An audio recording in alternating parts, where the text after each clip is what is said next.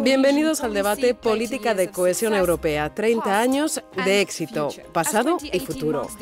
En 2018 se celebra su trigésimo aniversario, la ocasión para analizar cómo esta política de inversión ha ayudado a la evolución de la Unión Europea en las últimas tres décadas. Considerada como la herramienta principal para reducir las disparidades, esta política tiene como objetivo promover y apoyar el desarrollo de todos los estados y regiones de la Unión Europea. No solo se dirige a los países más pobres del territorio, sino también a las regiones pobres de los países más ricos. En definitiva, todas las regiones europeas se benefician de la política de cohesión. Probablemente no estén acostumbrados al término política de cohesión, pero para entender este concepto piensen, por ejemplo, en cuántas veces han oído la palabra empleo. Pues bien, la política de cohesión ha ayudado a crear al menos un millón de puestos en la Unión Europea entre 2007 y 2013, pese a la crisis. Lo mismo ocurre con la inversión, la investigación y la innovación, las infraestructuras o incluso el acceso al agua potable. Para abrir este debate tengo el honor de recibir a la comisaria europea de Política Regional, Corina Cretu.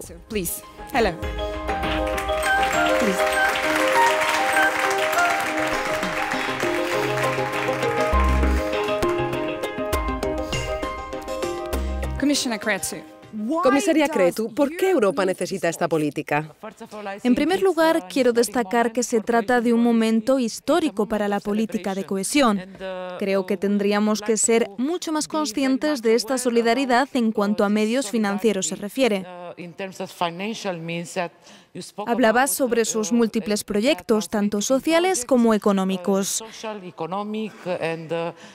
Estamos a punto de adoptar los próximos presupuestos para después del 2020.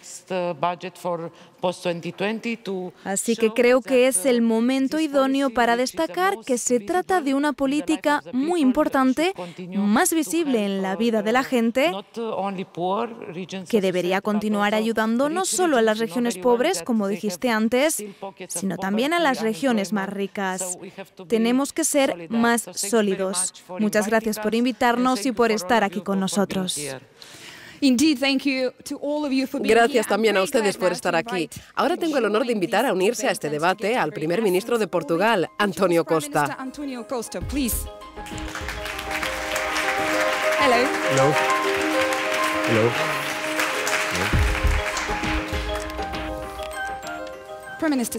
Primer ministro, háblenos acerca de los logros de la política de cohesión en Portugal.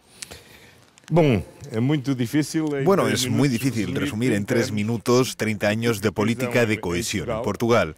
Pero esta política ha dado resultados concretos, por ejemplo, en cuanto a la mortalidad infantil. Cuando entramos en la Unión Europea en 1986, nuestra tasa de mortalidad infantil era de un 20% por encima de la media europea. Hoy estamos incluso por debajo de esta media. Las diferencias económicas entre nuestras regiones más ricas y más pobres se redujeron en un 70%. El déficit educativo que teníamos en nuestro país, un déficit de formación y de competencias técnicas, lo hemos mejorado incluso durante la crisis. Entre 2004 y 2016 logramos reducir las tasas de abandono escolar del 35% al 12,6% y la población de entre 30 y 34 años con acceso a la educación universitaria pasó del 17,5% al 35% en ese mismo periodo. Esto significa que pese a las dificultades económicas que hemos atravesado y pese a la necesidad de adaptación a la nueva realidad económica, con el euro, la ampliación de la Unión Europea, la globalización, etc., la política de cohesión ha sido crucial para transformar Portugal en un país más desarrollado y más armonioso. Comisaria, Portugal es un ejemplo realmente interesante, ¿no? Por supuesto, creo que Portugal es un muy buen ejemplo también en cuanto al uso de los fondos europeos. Una de mis primeras visitas, justo después de convertirme en comisaria, fue precisamente a Portugal, porque era el único país que utilizó todos los fondos un año antes de que finalizara el programa. Por lo tanto, son muy buenos en el gasto, pero el gasto en programas de alta calidad. Me gustaría ahora invitar a subir al escenario a nuestro invitado especial, el presidente del Parlamento Europeo, Antonio Tajani.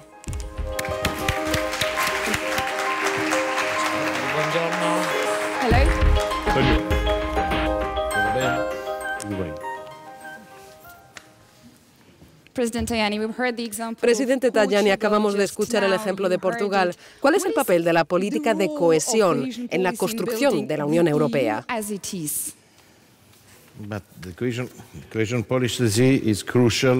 La política de cohesión es crucial. Fue crucial en el pasado, es crucial hoy y será crucial en el futuro. In the past, many countries with a lot of problems, thanks en el pasado, muchos países con problemas vieron cómo los fondos de cohesión funcionaron muy bien, y además en favor de los ciudadanos europeos.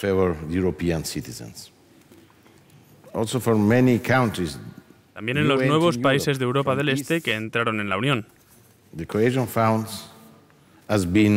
Los fondos de cohesión han sido fundamentales para mejorar su situación económica y por consiguiente su participación ya que si un país quiere tener un lugar destacado en Bruselas, necesita tener una posición económica fuerte.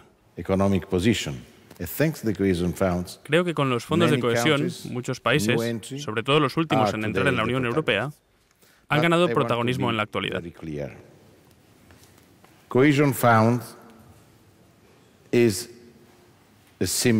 Los fondos de cohesión son un símbolo de solidaridad. Pero no se trata solo de beneficiarse de ella. También consiste en ayudar a otros países cuando estos lo necesitan.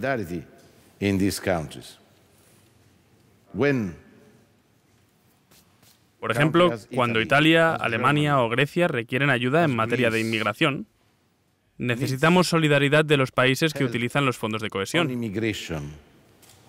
We need solidarity from the countries using the cohesion funds. Nosotros, los italianos, pagamos mucho dinero para estos fondos en otros países y ahora necesitamos ayuda para abordar la crisis de refugiados. Es inaceptable tener dinero procedente de Italia, Grecia o Alemania y estar en contra de la solidaridad con los refugiados. Por eso los fondos de cohesión son una muestra de solidaridad. Señor presidente, me gustaría agradecerle a usted y a todo el Parlamento Europeo su apoyo a la política de cohesión. Creo que la solidaridad debería ir en dos direcciones. Es muy importante tener en mente que si algunos países quieren tener, por ejemplo, más dinero para infraestructuras, deberían mostrar más solidaridad cuando los otros países lo necesiten.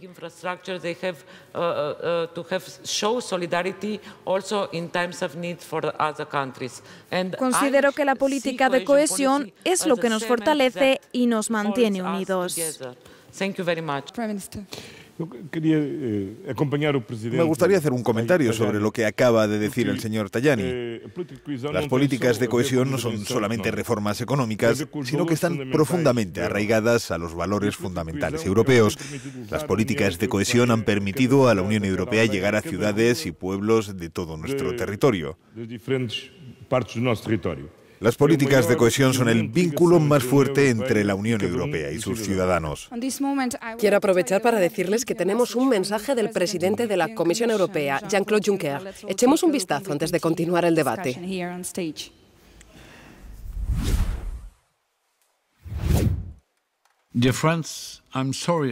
Queridos amigos, siento no poder estar hoy con ustedes, pero les puedo asegurar que con Corina, ustedes, así como las regiones europeas, están en buenas manos. 2018 es un año trascendental para la política de cohesión europea, y lo digo por dos razones. La primera, la política de cohesión cumple 30 años. Es el momento de recordar su papel fundamental. En su esencia, la política de cohesión trata de asegurar que las oportunidades no las dicta un código postal o un lugar de nacimiento. Trata de solidaridad e igualdad de oportunidades para todos los europeos y haciéndolo impulsa nuestra economía. Aporta el 8,5% de la inversión pública comunitaria.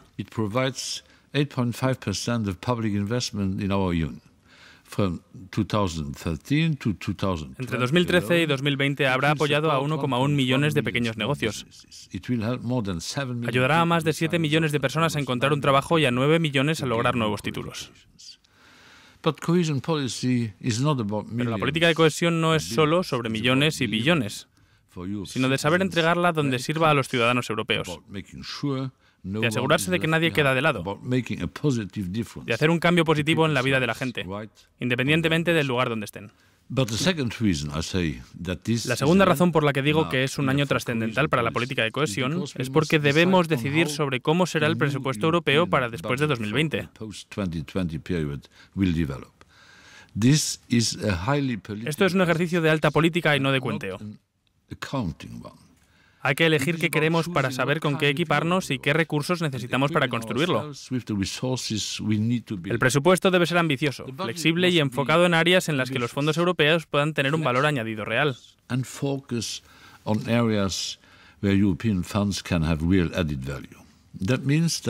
Eso significa que en cuanto a las regiones, nos debemos hacer preguntas difíciles. ¿Queremos mantener el apoyo para todos los países y todas las regiones? ¿O queremos centrarnos solamente en las regiones menos desarrolladas y en los países en los que las necesidades sean más agudas? Una decisión así puede salir barata, pero en la práctica significa que muchas regiones o países, como Bélgica, Dinamarca, Francia, Irlanda y otros sitios, pueden perder financiación. Cada opción tiene un precio e implicaciones, tanto para todo el presupuesto europeo como para las economías locales y las comunidades.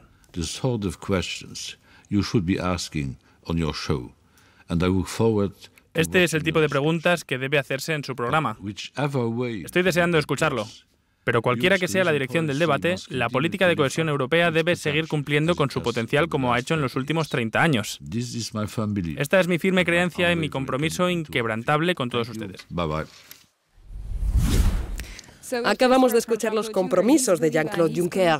Sigamos con su mensaje, el futuro de la política de cohesión. Uh, Juncker ha enviado un mensaje a favor de la política de cohesión, pero también ha sido muy directo diciéndonos lo difícil que será la situación sin nuestros amigos del Reino Unido. Será muy difícil porque tenemos que elegir cómo atraer las finanzas. Tenemos nuevas prioridades, como ha dicho el presidente Tajani, como es el caso de la inmigración, pero también la defensa, el armamento europeo, el control transfronterizo. Estas son áreas en las que la Unión Europea no ha contribuido hasta el momento, pero ahora debemos decidir cómo ajustar estas nuevas prioridades a la Unión Europea para después del 2020. Presidente Tajani. Estoy totalmente de acuerdo con la comisaria Cretu. En la elección política, el 2 de mayo, la Comisión Europea presentará el próximo marco de trabajo multinacional. Tenemos que decidir algunas metas políticas. Por supuesto, tenemos que luchar contra la inmigración ilegal, a favor de la seguridad dentro y fuera de la Unión Europea. Tenemos que luchar contra el paro juvenil. Si queremos parar el populismo, necesitamos tomar decisiones en estos tres puntos políticos más importantes. Necesitamos utilizar el dinero para alcanzar esta meta. Y la política de cohesión es un instrumento para lograrla. Por eso tenemos que poner dinero en la política de cohesión. Pero también necesitamos reglas porque la política de cohesión no es un regalo. Personalmente creo en la política de cohesión. Tenemos que promoverla, apoyarla. Pero también tenemos que decir qué tienen que hacer aquellos que reciben dinero. ¿Cuáles son las metas políticas? Porque no es dinero privado, es dinero de nuestros ciudadanos europeos. L'argent privé, c'est l'argent de nos concitoyens européens. Antes de abordar el futuro de la política de cohesión, la comisaria Cretu ha invitado a sus predecesores a definirla, evocando un gran logro y la contribución a Europa que esta política ha hecho durante su mandato. Desafortunadamente, no todo el mundo puede estar aquí con nosotros, pero los que no han podido nos han enviado sus mensajes. Y el primero es el de Mónica Boumatis, que fue comisaria europea para la política regional de 1994 a 1999. 19. Veamos.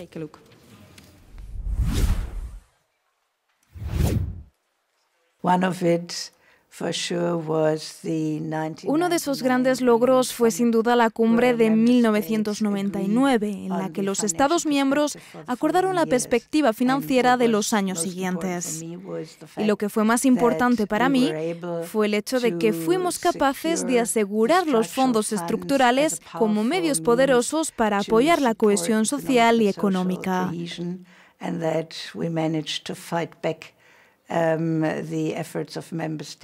Conseguimos echar atrás los esfuerzos de los Estados miembros para reducir la financiación.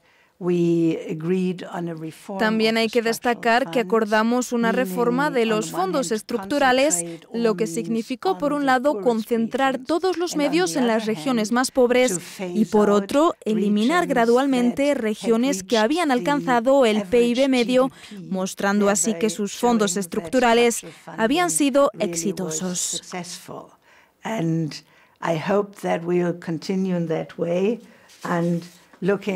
Espero que continuemos en esta línea. Y observando esta realidad, Michelle, te veo dirigiendo la Sinfonía Berlin Millennium. Espero que seamos capaces de asegurar los fondos estructurales para el futuro. Bien, Michelle Barnier, es su turno.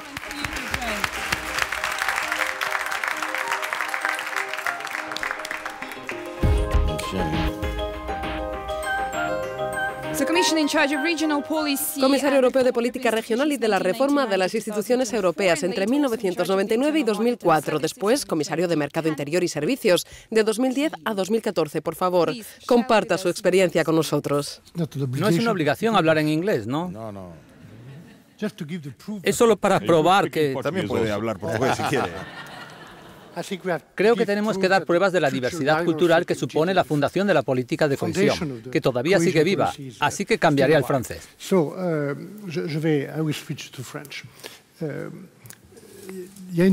Hay algunas palabras que recuerdo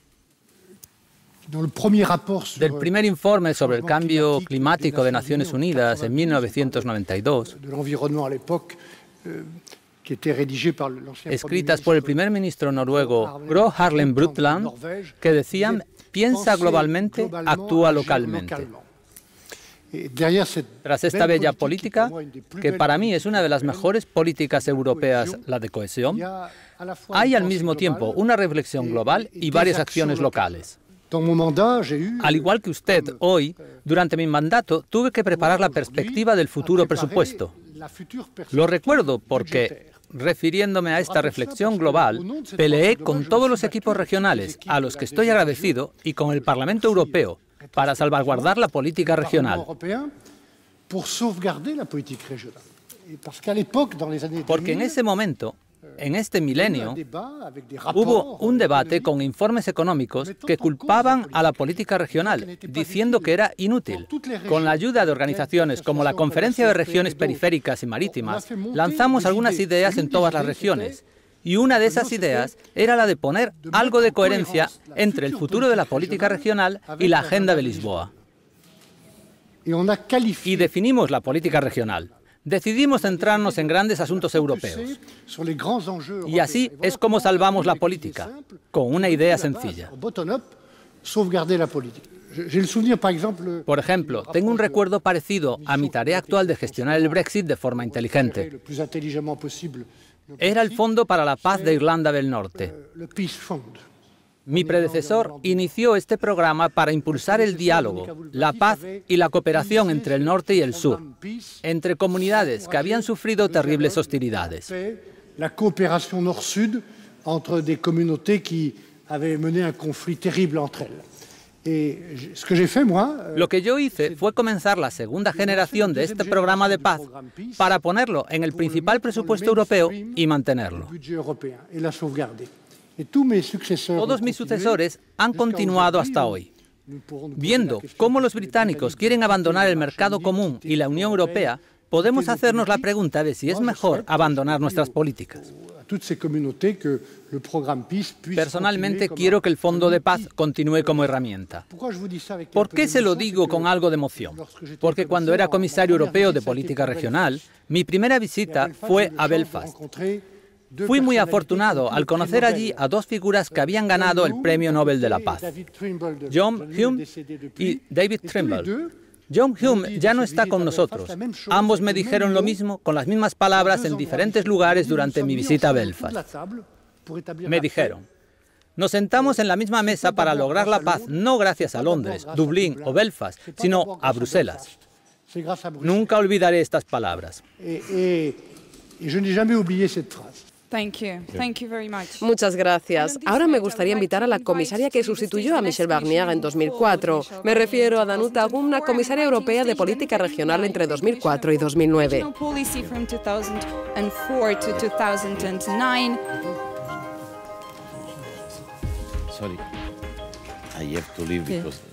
Disculpen, me tengo que marchar. Eh, Pero me gustaría darle las gracias a la comisaria Cretu porque ayudó a mi país después del terrible terremoto.